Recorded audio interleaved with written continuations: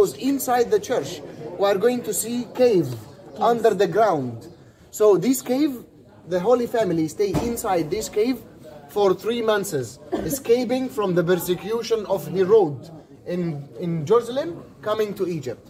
So when they are here, they left for us the original floor or original ground, which is baby Jesus stepped on, and also inside the cave there is a small bedrock for baby Jesus because Jesus, when he was here, he was baby. So we have like a bedrock for the baby Jesus inside.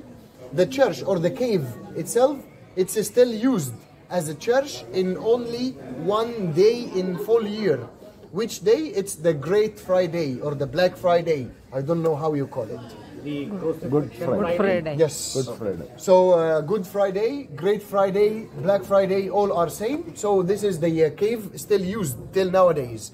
So the church itself, it's a very big church since the fourth century, and it's called San Sergius and San Bacchus for two saints, and they are from Syria. So that's why this church, it we call it Syrian church. So the cave church, Holy Family Church, Syrian church, because the two saints, uh, they are from Syria. So they are Syrian church. So uh, Coptic uh, church manager. Coptic church. So uh, here, this is the Caveran church. Inside the cave, also or inside the church, we are going to see the first baptismal jar.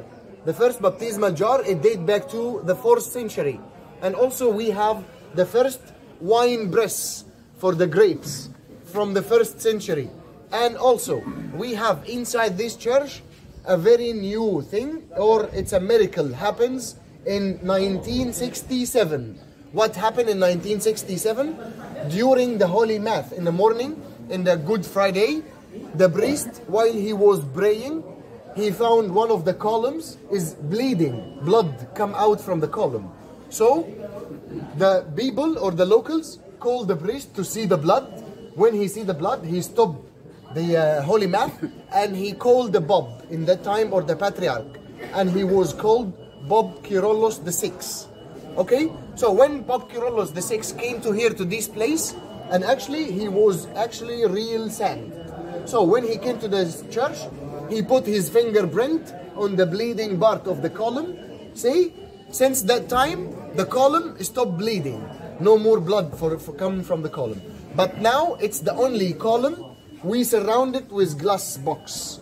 So since that time, since 1967, we keep this column in glass box and we put a small plate we write on it what happens with this column and you will going to see the blood still on the column as it is. We don't clean the blood or we don't clean the column. We just leave it as it is but we only miss the fingerprint of the patriarch because of the time okay so now we can go inside the church Yeah, I will explain to you. sure yes One thing.